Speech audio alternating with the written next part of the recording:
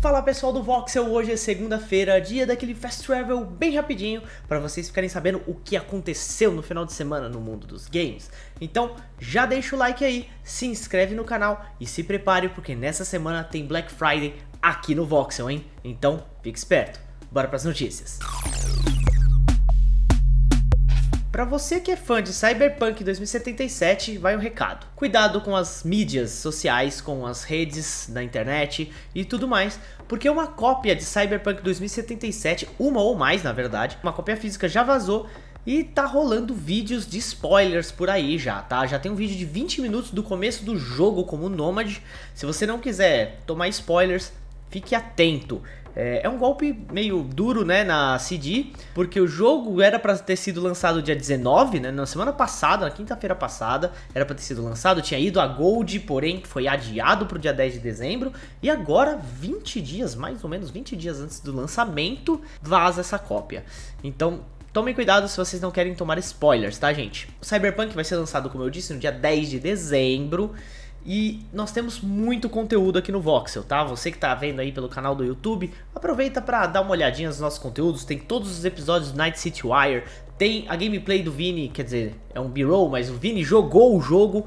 Eles contam um pouco mais sobre o que ele jogou, a experiência que ele teve. Então, fiquem atentos para muito mais detalhes de Cyberpunk daqui para frente, tá? Então, bora para a próxima notícia. Cuidado com os spoilers. E, gente, já que eu falei sobre Black Friday aqui no Voxel, não percam, vou falar também sobre Black Friday na Xbox e na PSN. Isso porque já temos descontos pintando aí nas duas lojas, descontos bem legais, tá? A Xbox, por exemplo, já tá com descontos que chegam até 75%. Ó, por exemplo, Far Cry 5 está por 49,75. É, o FIFA 21, mais novo, tá por 179,55 e 55% de desconto num jogo que foi lançado agora há pouco. Marvel, Marvel's Avengers está com a 125 reais. Tem bastante coisa. Crash a 162 reais. O Crash 4, tá? Inclusive. É, tem o, o, pacote do Assassin's Creed que tem o Odyssey, o Valhalla e o Origins por 330 reais. São três jogos grandes, inclusive um super lançamento por 300 reais. Então você vai pagar ali 340, na verdade, 332. Você vai pagar ali por volta de 300 e 110 em cada um. É um bom preço, é um preço bem legal para três jogos tão grandes. Devil May Cry 5 está por 82, então tem bastante coisa, tá gente? E além de jogos, serviços também vão estar com promoções aí, viu?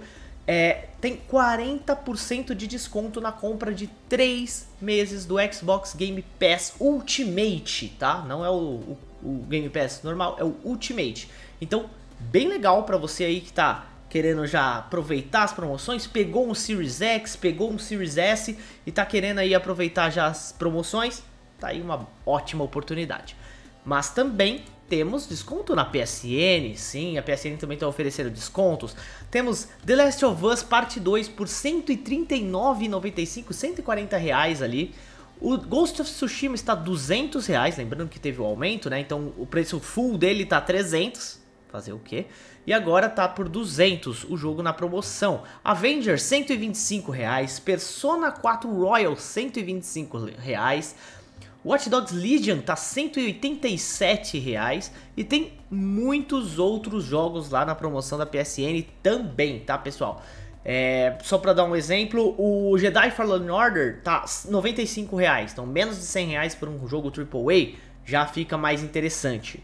O FIFA 21 tá 175, tem bastante coisa legal podem dar uma procurada lá na PSN, que os preços estão bem interessantes, na Xbox também estão muito legais. Aproveita essa Black Friday aí, quem guardou uma graninha ou quem vai receber aí o 13 terceiro, né? Também tem a oportunidade de dar uma economizada.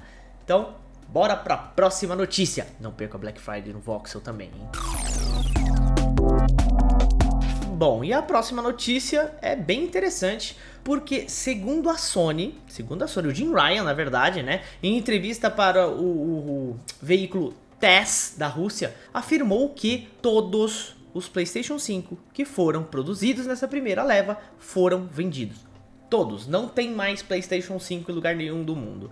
Todos foram vendidos. Absolutamente todos. Então, bem interessante. Eu falei absolutamente todos com ênfase, porque foi o que ele falou na entrevista, tá? Ele falou: todos estão vendidos. Absolutamente todos. Não tem mais nenhum. Ele falou exatamente assim.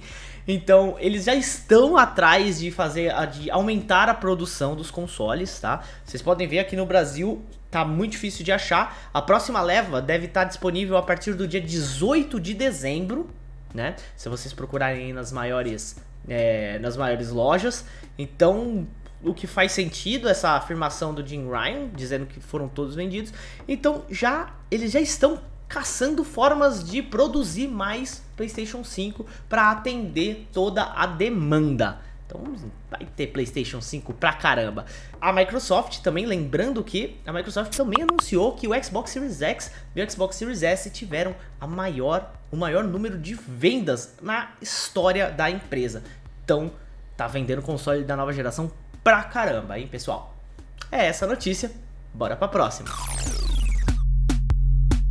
Agora uma notícia bem rápida aqui para quem comprou o Homem-Aranha Remaster do PlayStation 5, né? Quem comprou aquela versão do Miles Morales que vinha com o Remaster para Play 5. Agora foi atualizado, o Homem-Aranha foi atualizado ontem, se não me engano, no último domingo, no último sábado, tá? É, e agora você consegue pegar o seu save do jogo anterior, do jogo de PlayStation 4. Antes você tava, tava tendo uns conflitos e você não conseguia transferir o seu save. Mas agora você já consegue, segundo um tweet da Insomniac, né? A Insomniac já ouviu, já sabia que estava tendo alguns problemas sobre isso e já atualizaram. Bem legal. Foi na madrugada de sábado para domingo, tá escrito aqui. O que, que você tem que fazer para jogar o seu save do Homem-Aranha do PlayStation 4 para PlayStation 5? Primeiro você tem que fazer o upgrade, né?